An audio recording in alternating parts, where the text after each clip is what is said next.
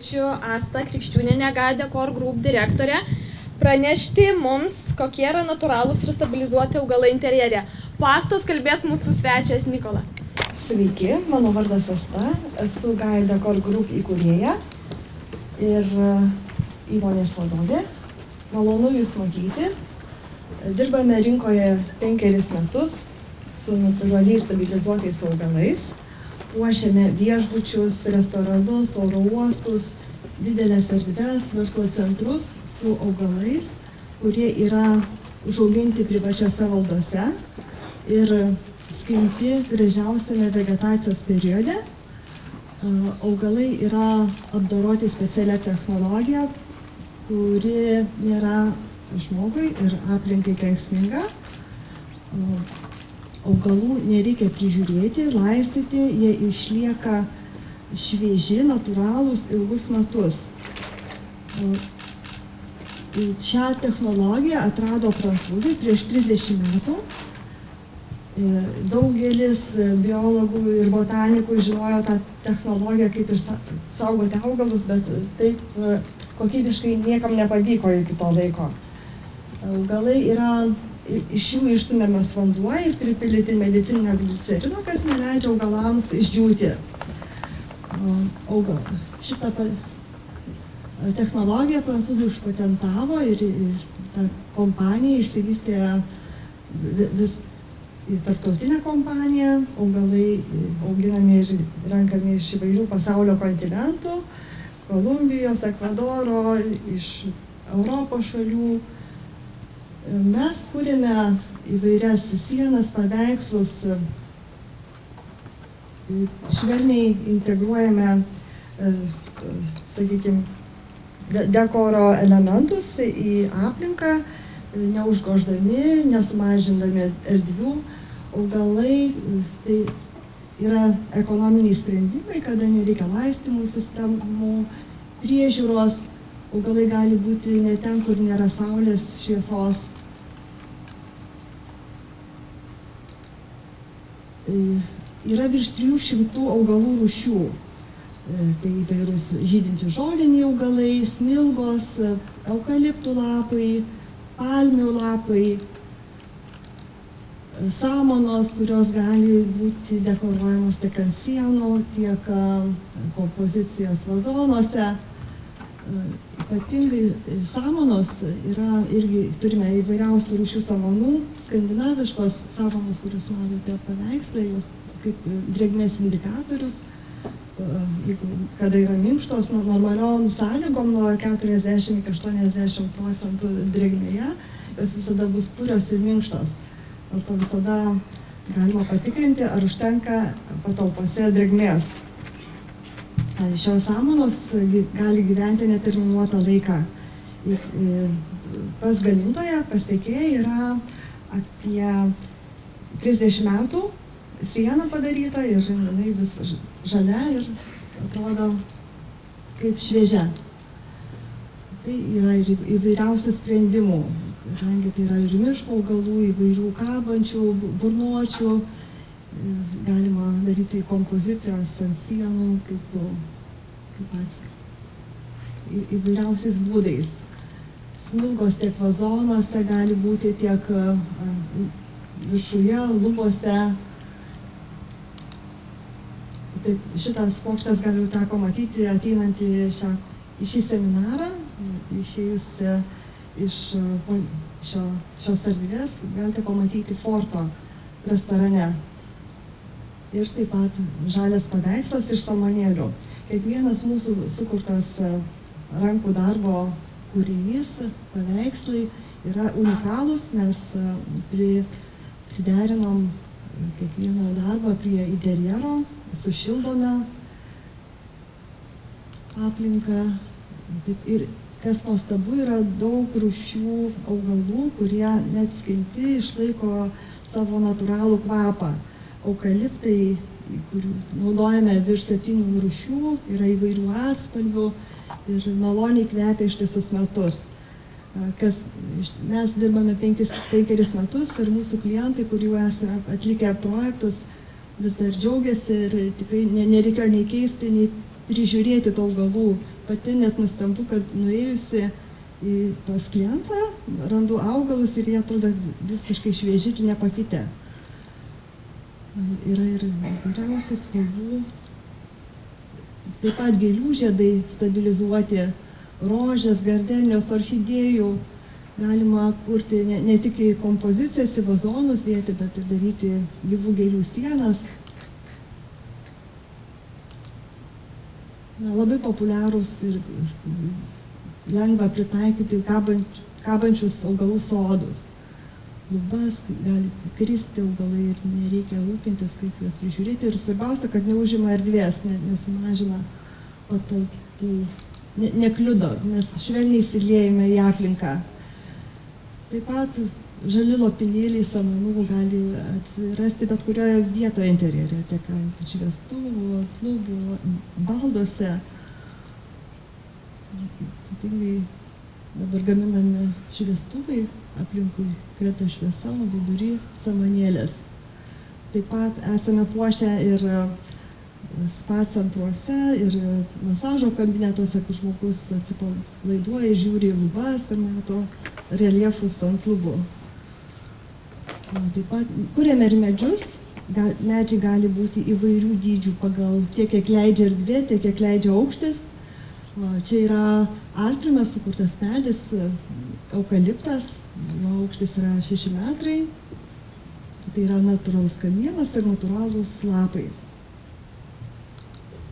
Taip pat da, dažnai biuruose, o verslo centruose pritaikome tokias kompozicijas kaip pertvaras ir suteikia ne tik grožio, bet ir tą funkciją, kad žmogus jaukiai sėdi aplinkoje, kur uh, suteikia žalumą darbo našumą, teikia geras emocijas, nes yra moksliškai įrodyta, kad 15 procentų uh, esant žaliai aplinkai, žalumai augalams padidėja darbo našumas. Tai gali, čia yra Litexpo parodų erdvėje, dekoruota kolona su foto, fototapetu ir užaugintų vijoklių. Tai taip pat sušildo ir duoda jaukumą. Labai gražiai atrodo vitrinuose stikle, kaip, kaip, kaip koridoriai stiklo padaryti Luminor banke ir iš jūsų kairės pusės matosi toksai kaip staliukas, tai ne tik terariumai, bet gali būti ir stalo funkcija, registratūros stalas, kur apačioje augalai, viršuje galima dirbti virš augalų. Taip, čia taip pat yra o, Ozo prekybos centre medžiai, antrame aukšte galite pamatyti prie interjero galerijos, tai mes turime įvairius, įvairius medelius, bonzus, iš lapų, topijarus, įvairių formų ir dydžių. Čia yra naujas sprendimas, kada mes norime taupant aplinką biuruose ir padaryti tokį gilį perspektyvą, dedame fotografiją, foną ir adaptuojame, pritaikome medžius, lapiją, tokį gilesnį vaizdą, kad žmogus jaustųsi kaip gamtoje, kad galime padaryti tik urbanistinį parko vaizdą, ir didelės erdvės, neužimant vietos, kad poilsio zonos darbo vietose gali būti, kad žmogus jaustųsi jaukiai, nesvajotų kaip pabėgti į gamtą, o jaustųsi savo darbo aplinkoje puikiai. Taip pat bet dideli medžiai, kurie nebus kaip įsprausti kampe, bet jie gali būti dideli ir neužimti visiškai vietos, galima sėdėti darbo zonoje po medžiu. Labai smagu, kad e, yra, turime samanos ir jų yra įvairių atspalvių, iki 30 atspalvių. Galima kurti ir įvairius raštus. Na, jeigu pirmais metais visi norėjo tik tai vien tik žalumos, kad būtų vien žalia, tai dabar jau žmonės nori įvairovės ir galima daryti, komponuoti su, su samonėlėmi tiek raštus, mozaikas įvairias. O šitos senės, samanų senelės taip pat atlieka funkciją kaip garso, gera garso izolacija yra. Sugeria garsą ne tik po šią aplinką, bet ir dedama, kad sugertų garsą. Tai gali būti ir darbe įmonėse per tvarėlės, kad suteiks grožį ir dar atliks funkciją. Samanėlių yra įvairių spalvų, galima naudoti įvairias formas, tiek apskritimus, rombus, kvadratus, kiek, kaip tai leidžia koriuko formos. Čia, kaip sakyti, kūrybai, kūrybai ribų nėra, kiek, kiek leidžia erdvės, kiek mes pritaikome dažniausiai prie esamos aplinkos, kad papuošti, sušildyti, padaryti jaukumą. Labai žmonės įmonės dedasi logotipus, kad išryškintų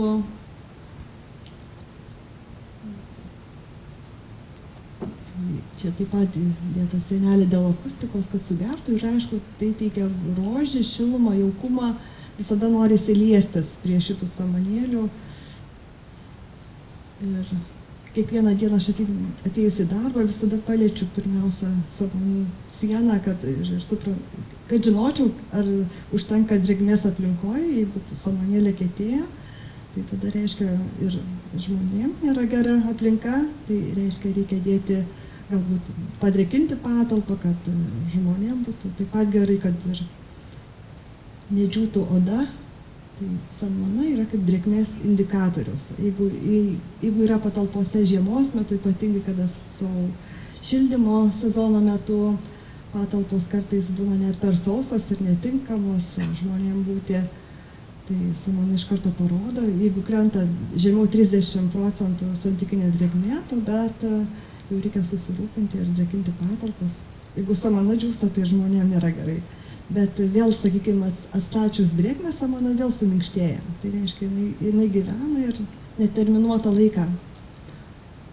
Dabar irgi yra kaip akustinė senelė ir kartu pošybinis paveikslas. Yra įvairių, gali būti tiek samanų paveikslai, įvairių lapų, kur perskiria erdves, suteikia jaukumo, gali būti į, įvairiuose intarpuose, tiek didelės sienos, tiek maži intarpai, bet jie duoda šviežumo, gyvumo ir, ir perskirimos erdvės šitomis senelėmis. Iš šitos pusės yra sulapija, kitoj pusėje yra kitokia senelė, kad nebūtų nuobodu. Iš, iš logotipai taip pat gali būti iš, iš pačių augalų padaryti įvairius ra, raštai, formos, raidės. Tiek, tiek perskirimo erdvės puošiamos augalais, tiek gali būti turiniai, kabantis elementai dekoracijų ant sienų. Visą tai neužima erdvės, bet suteikia jaukumo. Ir kas labai labai duoda efektą, kada yra apšvietimas. Tai taip pat galima ir iš tuos apšvietimus, kada leidžia jau šiolaikinės technologijos, kaip ir kolegos pasakoja, kad galima keisti šviesą, tai manau ateityje irgi bus sienos, kur bus apšviestos saulės, pradedant su saulės patekėjimu ir baigiantis vakaro šviesa. Tai tokie apšvietimai, keičiantis apšvietimui, keičiasi ir paveikslas. Čia įvairius logotipai. Tai du. Įvairiom formom. Čia yra senelė parodų, naudojama buvo parodoje po to labai smagu, kad tai šito, šitie kūriniai, žalieji paveikslai, jiem nereikia laistymo sistemų, nereikia papildomos įrangos, todėl jie lengvai transportuojami. Mes atliekame projektus ne tik tai Lietuvoje, bet ir užsienio šalise. Pavyzdžiui, po, po parodos ši kompanija parsivežė į savo biurą ir pasipuošė erdvę tavo. Taip pat, sakykime, jeigu yra paruošta senelė, žmonės nori po, po kiek laiko atnaujinti, pakeisti, galima papildyti lapyje, keisti ją. galimi įvairūs ne tik raštai, bet ir išgaubimai, reliefai, bareliefai. Čia gal, jeigu teko matyti, yra gambiai restorano siena 60 kvadratų, iš, padaryta iš atskirų samonėlių, rombų formos. Įvairių temų gali būti tiek džiunglės, tiek, tiek minimalistinis stilius. Pacų viešbutie. Ir e, pasaulyje taip pat daug, daug kur yra paplitę ir populiaru, tiek Milane, madų sostinėje, Paryžiuje, Ispanijoje, Jungtinėse Arabų Emiratuose.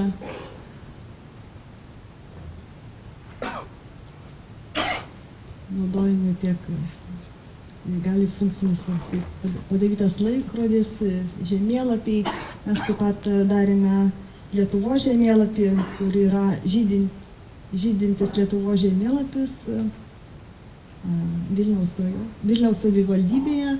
Ir vienas Lietuvo žemėlapis iškeliavo į Angliją, kur kavinėje. Ir ten taip pat sudėliojama keramikinius magnetukus, kad lie, Anglijos lietuviai susipažintų su, su Lietuvos vietomis. Čia yra nu, stabilizuotos palmės, jos gali būti įvairiausio aukščio. Natūralūs kamienai ir, ir, ir lapai. Labai dažnai puošiami oro uostai, čia yra Dubajuje, taip pat yra labai Ostlė didelė siena Norvegijoje oro uoste. Ir e, erdviniai sprendimai. Dažnai mes siūlome tos, sakykime, dekoracijas, jeigu yra nuolatinė dekoracija, galima praturtinti pagal sezoniškumą, jeigu ten tą patį dekoruoti dar kalėdį, pagal kalėdinę temą, uždėti girlandas, dar kažkaip modifikuoti, keisti, kad nebūtų nuobodu. Ir įvairūs sprendimai su augalais ir galima grafinių dalykų į, į, įterpti ir, ir su tapyba. Na, čia pasaulio garsus ženklai, kurie irgi puošia vitrinas su stabilizuotomis rožėmis, Chanel, Kils ir kitos kompanijos.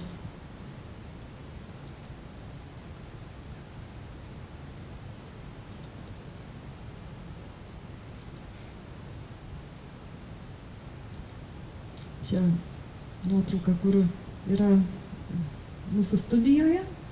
Tai kūrybinis džiaugsmas, kada mes klientui kūrėme girlandą, girlandą žalias, už, už manęs yra New Yorko fotografija, tai mes kūrėme bet kokį vaizdą, gali būti, na, gali, galime įkurti svajonės biurą, kur, kur jūs atsirasite erdvėje, kur, pagal svajonę, pagal idėją, mes kūrėme svajonę ir tą svajonę norime pertikti žmonėms. Tai aš kviečiu kartu bendradarbiauti ir kurti grožį. Ačiū uždėmesi.